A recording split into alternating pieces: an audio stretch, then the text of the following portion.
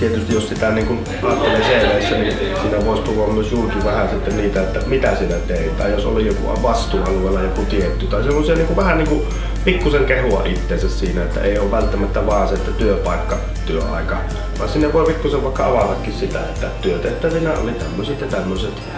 Tämä hakemus täytyy loppuun No on tosi paljon alussa, mutta sitten kyllä ihan kiva.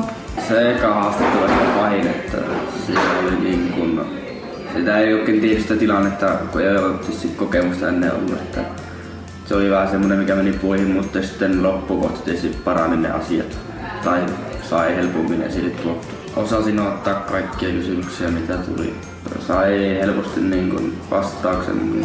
Okei, okay, tietty parin kysymykseen saa vaan miettiä, jos kysyttää, että mitä mä tehdä viiden vuoden päästä ja en ole oikein kunnolla miettinyt, niin totta kai ihan vähän miettiä, mutta ei silleen muuta.